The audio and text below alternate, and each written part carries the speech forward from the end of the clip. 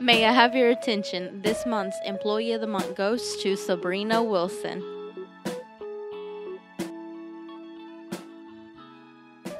I just want to thank my Senior Life family for voting for me to be Employee of the Month. I am very excited and I'm very appreciative for you all voting for me.